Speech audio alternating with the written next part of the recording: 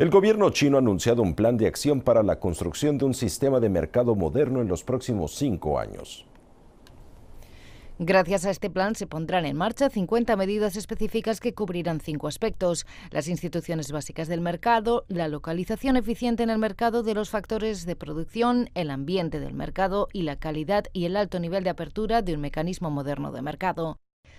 China considerará las instituciones básicas del mercado mejorando la protección de los derechos de propiedad, así como poniendo en marcha un sistema de acceso al mercado de listas negativas y realizando avances justos en la competencia.